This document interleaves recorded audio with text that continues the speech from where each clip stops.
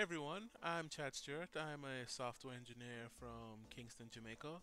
And today, in this video, today, I want to talk about this idea of the different kind of um, titles of software engineer throughout um, the tech industry uh, as compared to a Kent Beck's 3X model.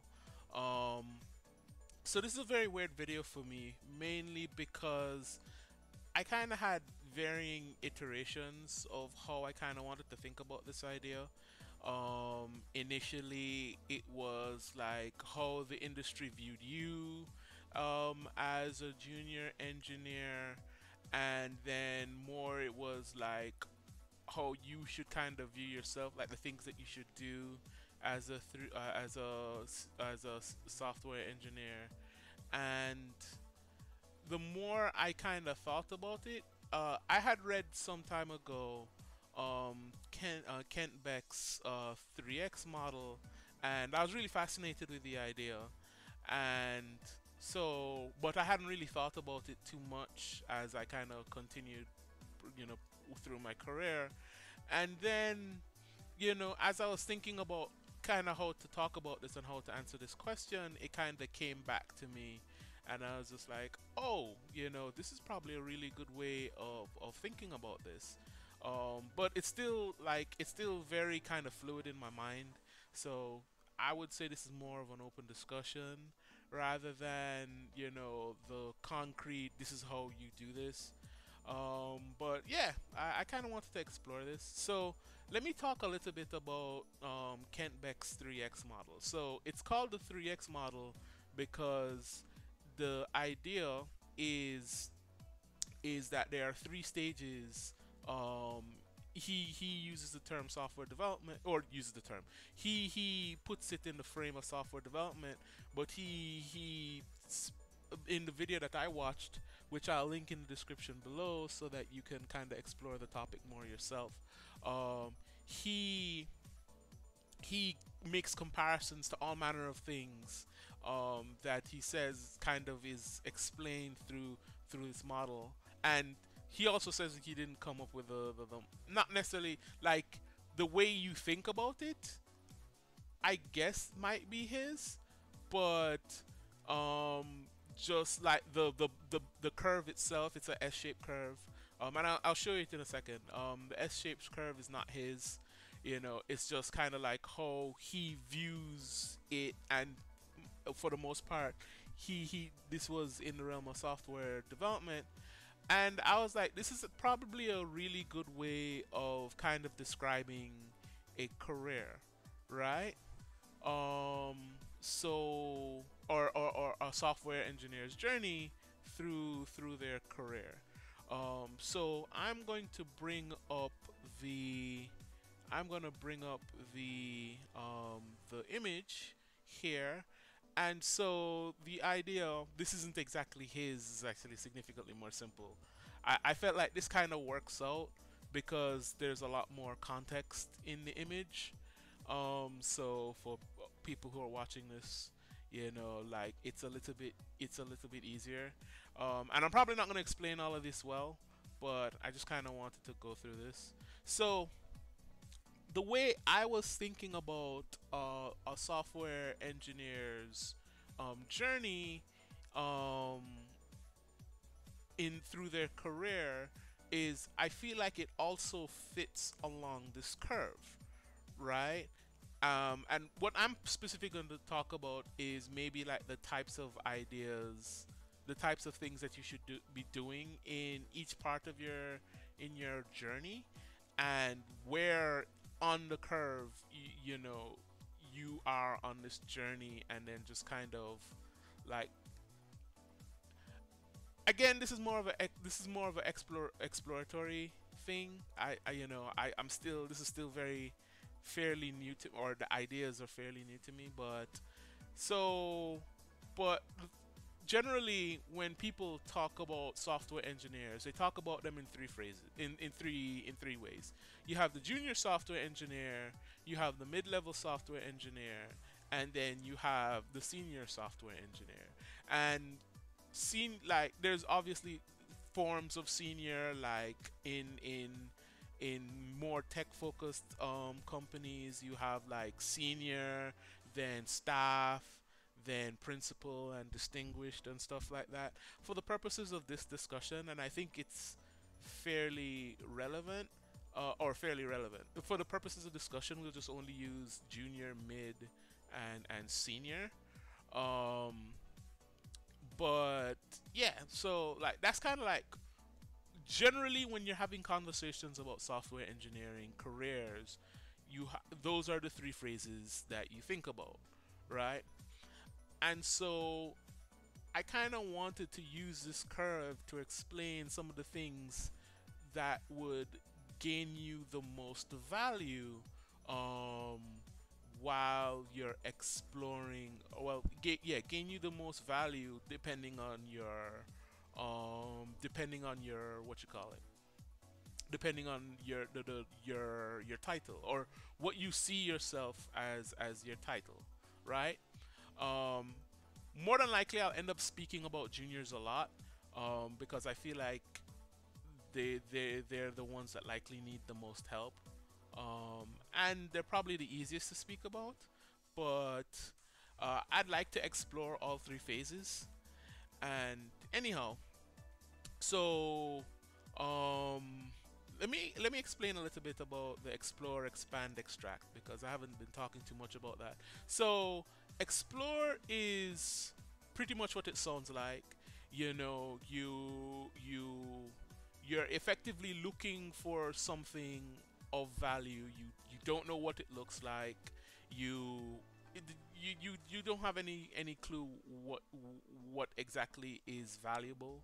You know, like you don't know what is valuable. You don't know why it's valuable. So you do little experiments, right? So the the idea here is to to, to, to kind of feel around for for interesting for, for, for stuff right um, expand is you found something of value and you essentially are growing and you're and this is probably this is pretty hard and I, I in the video funny enough in the video that that I was watching to kind of remind myself of this uh, Kent Beck found it hard to, to kind of describe it as well. He described it in the way of oh you're expanding you know and there are multiple pitfalls and effectively what you're trying to do is avoid those pitfalls.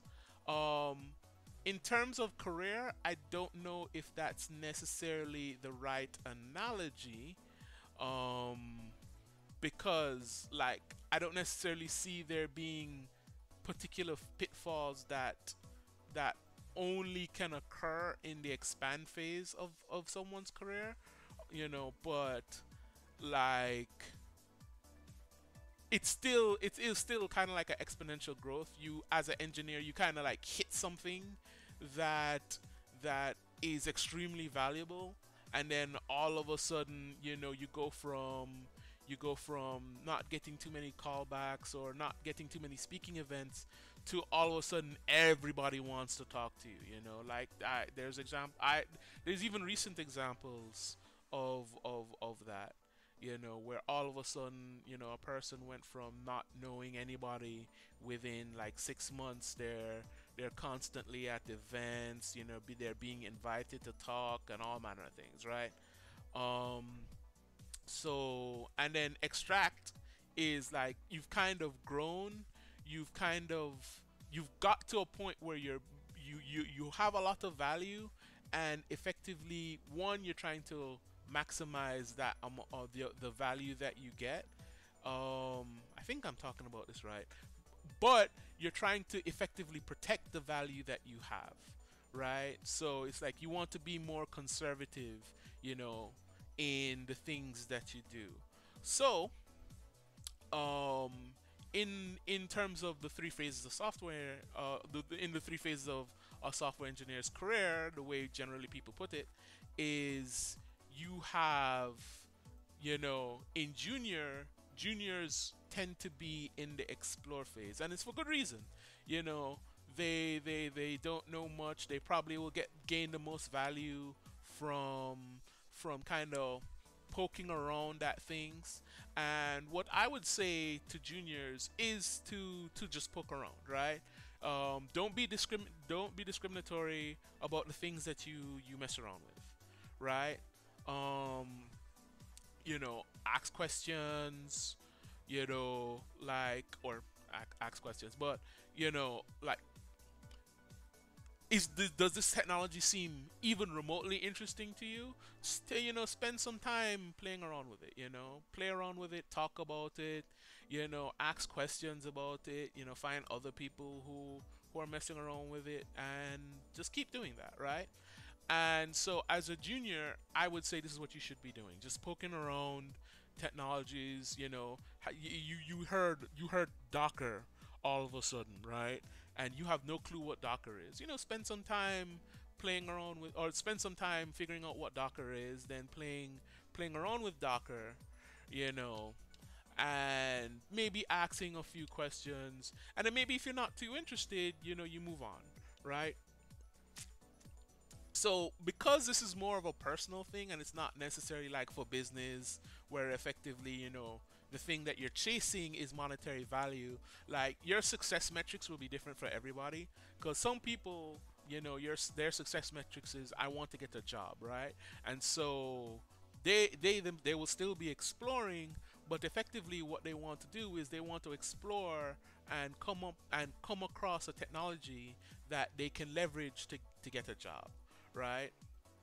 Um and maybe you there's something you just you just want a personal interest to kind of dig into you know? Like you play around and then all of a sudden you find that you found something really interesting and then you dig into that and it, so your success metrics are going to be different you know? But the explore phase still stands. Just poke around you know? Like if you hear something new you know ask questions about it ask questions about it I- I- immediately you know and if you lose interest for whatever reason because they go against your success metrics then you move on and you just keep doing that right?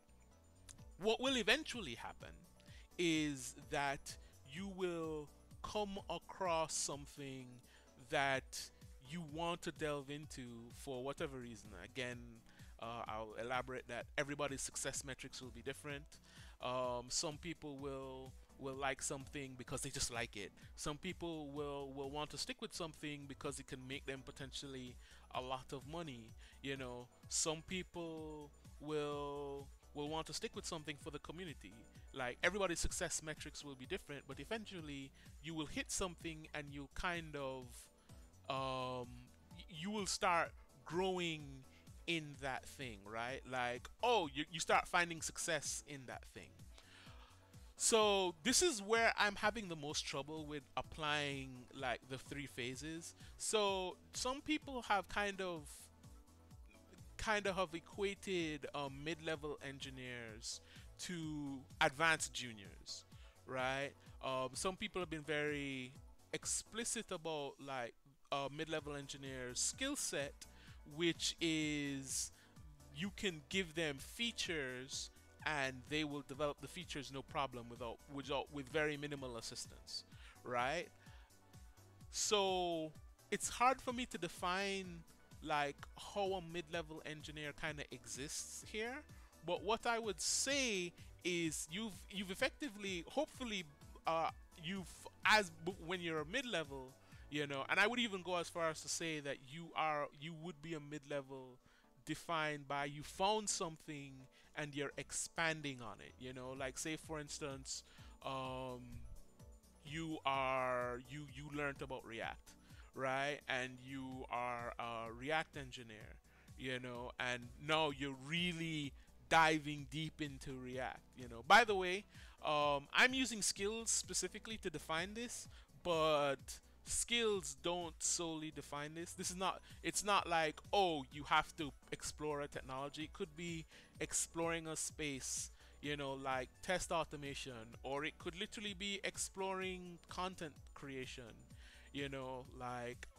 you know, making YouTube videos or doing Twitch or you know spaces or just dev advocacy and stuff like that the the idea is that like we we have this lens that we kind of view people as you know as software engineers junior mid and senior um and like these are the kind of things that you you want to be thinking about to kind of maximize your growth i guess I should have started with that to maximize your growth um, when you're in these different phases. So, um, as a mid-level engineer, you kind of want to to to kind of ex you want to work on the thing that you that you had that has been showing you success. You know what I mean? You want to kind of double down on that and keep working on it. You know what I mean? Um, so like I said, it could be you know you're you're a React engineer. React has been showing you a lot of success. You've been getting a lot of jobs because of React. So you kind of double down on that. You know, maybe it's a project that you're working on. So you double down on on working on the project. You know, you you make it more valuable. You know, you reach out to people. You say, hey, you know, what do you think would make this more interesting? Or you you look at metrics. You know, stuff like that, right? And then what I would view as a senior engineer is a person who've kind of gone through these phases. They have they have had some level of growth. Like um, uh, let me show you in the it, like if you notice in the expand in the expand phase, there's a massive amount of growth in a small amount of time. What I would say is a senior engineer kind of starts here at the beginning of the extract phase. They are known for a, a particular thing. Either it's the you know uh, continuing with the with the the, the um, examples. They're known for a particular technology, or they're known for a particular project, or they're known for types of things. You know, like or for content creation. They're known for for for for dev advocacy. They're known for something, right? And here you kind of you um you're trying to kind of protect that value. You know what I mean? Like um yeah, you're trying you're, you're you're trying to protect that value. You're trying to maximize that value and yeah, that, that like it's kind of hard because I'm personally not a, a, a senior engineer you know or i haven't i, I don't think i've kind of been in the, those situations often. So i i don't have experience to to leverage or just being like oh i kind of understand the situation i understand the the the the situation. But like this is kind of like how i view senior engineers. They they they're at the top of their game you know and they just kind of stay in, i don't want to say stay in that lane. They kind of put a wall around the value they've created, right? And they just kind of continue to they they, they they've optimized on that value creation, you know, either by I can create React projects like that or uh, I I have really significantly increased the value of my of my project that I've been working on, you know, and all manner of things, right? So that is what I would say is kind of like the, the the the curve. It's I'm really sorry if this if this explanation isn't the best. Like I said, I'm still kind of wrapping my mind around this um around this idea. You know, I'll probably end up doing another video when I kind of understand this a little bit better. But I would say for because by the time you get to extract, you have so much information that kind of got you to the extract phase of, of, of this journey that you and notice the curve is a little bit flatter. Um, so there's still growth here. There's still growth happening, but it's not that much growth. And like for you to for you to kind of go back to this exponential growth again, you kind of would have to pick another topic and to to explore and then expand and then uh, extract right? You know and then just keep kind of doing that. Um uh at the time when when i at the at the time of the recording i think kent ben, kent beck was at um facebook. And so he he made the comparison to fix facebook's growth in the way like initially Facebook was a, a, a, social network for for colleges. And then the I then the the then the let's explore something new was being a social network for everybody.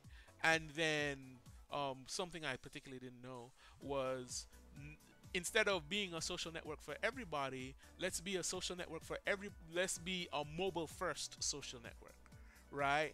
And then through these ideas, you you you you went through the same process, explore, expand, extract, but the curves got bigger, right? Or the potential for for growth got bigger. And so effectively if you visualize the curves, the curves themselves got bigger right? And you can do the same thing here. So, say for instance, you have one project, right? And you go through this entire explore, expand, extract phase, you know, like maybe thinking about, and the Facebook example is actually a really good example to kind of go through this. Maybe you go, you know, how do we take this project from from focusing on this use case to a bigger use case? I'm going to try my best not to kind of step to, to, to move away from um, to move away from what you call it, uh, from career growth, but um, in fact, to keep it in that realm is like okay, I've conquered, let's say React, right? I like the amount of value that I can extract from React as a tool that I know and I'm known for is great, is is good, but what if I start exploring backend engineering? You know, what if I start ex- or what if I start exploring Vue? You know, what if I start exploring backend engineering? You know, what if I start exploring um, UI UX specifically?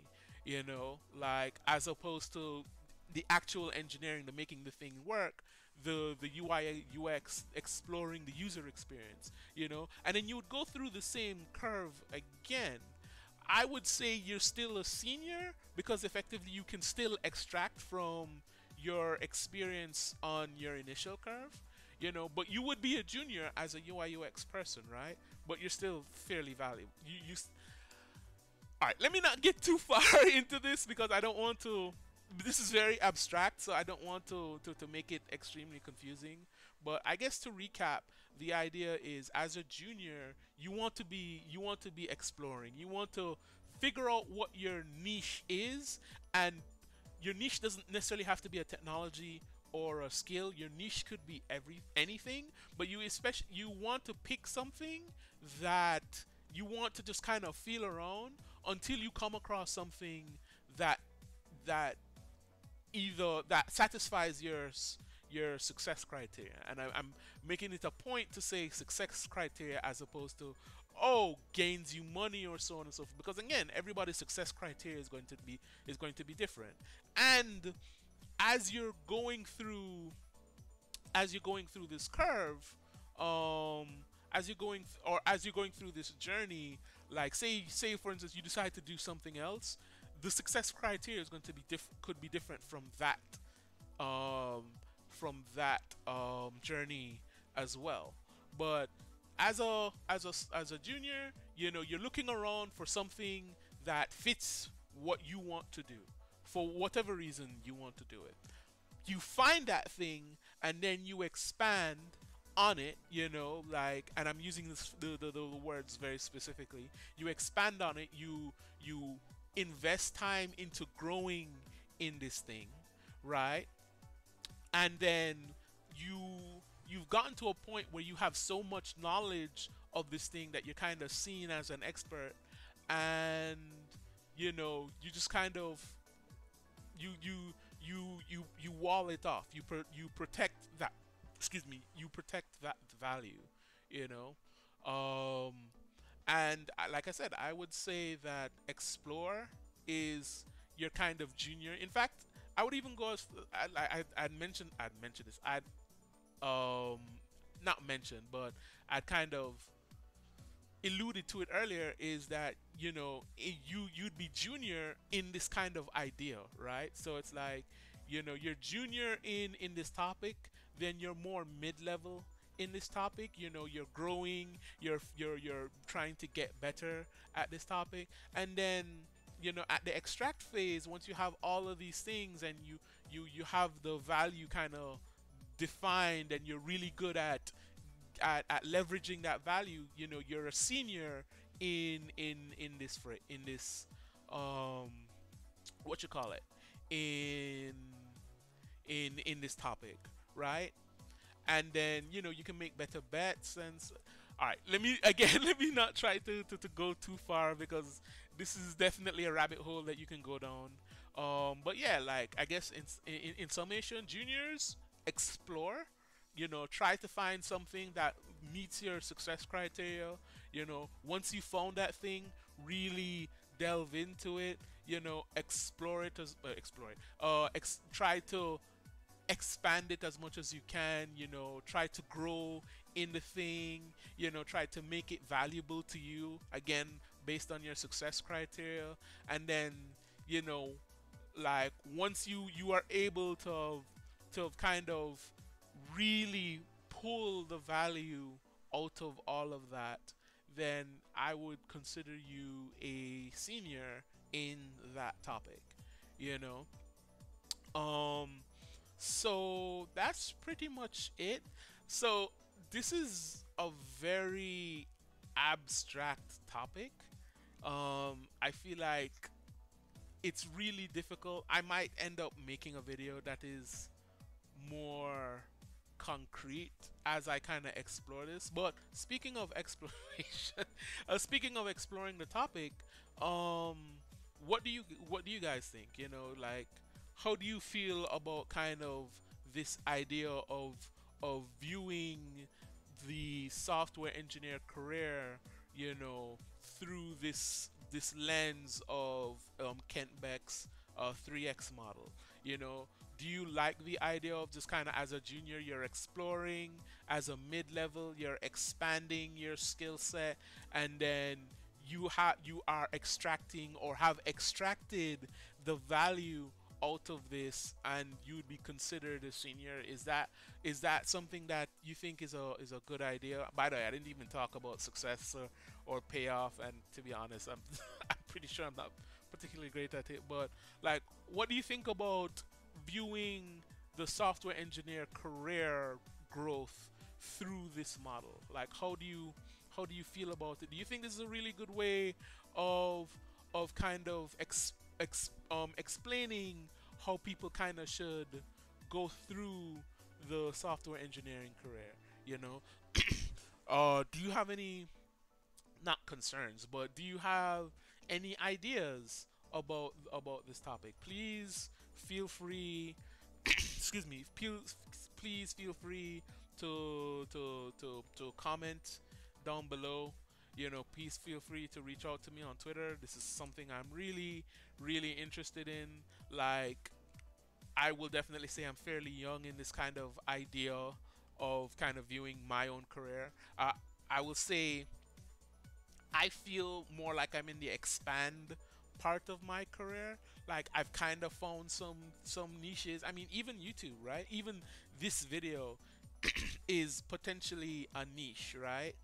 Um, that I'm kind of working on, you know. But uh, do you think this is a good idea? Do you, do you do you like this idea? Do you think this idea is is kind of easy to explore? Do you have like your own kind of vision um, for for viewing the career either through through this model or through you know some something else like please let me know in the the comments down below you know let me know on twitter. And thank you very much for um thank you very much for for watching this video. And wow that's a lot brighter than i wanted to be. Yeah thank you very much for for watching this video, and I will see you next time.